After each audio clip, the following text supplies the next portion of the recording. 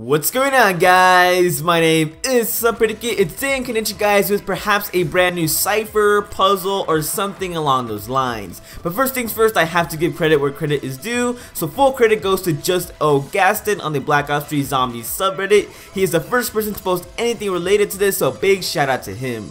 Now getting back to this cipher number code thing, so this is located on Der Eisendrache, and you have to turn on the power, and once you do that, make your way to the hallway that has two sets of stairs that lead from the lower courtyard to the undercroft. Now once you're in there, if you take a look around, you can see that there are a lot of boxes of what seems to be ammunition, so it's pretty standard. But if you go into theater mode and add a few lights, you can see that most of the text on the boxes blends in with the white lights. But there are a few boxes that actually turn black and really point out the numbers they represent, which are 302-507-02-6348. Now, if only one box did this, then it could be considered to be a simple texture glitch, but there are easily around 5 boxes that do this and it's not a one-time thing. I've done this in multiple different games and the results are always the same.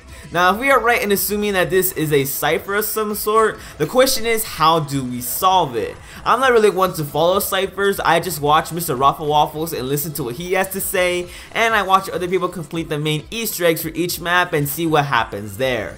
So what I'm going to be doing is tweeting this to a few different people who are known to solve puzzles and stuff like this, and we'll see if this is actually something of relevance or not. Or if you guys actually want to try and solve this in any way, then knock yourselves out. But anyways guys, there you guys have it. Hopefully you guys enjoyed this video. If you guys did, then don't forget to drop a like down below. Subscribe for more Black Ops 3 Zombies videos. And I'll catch you guys in the next one.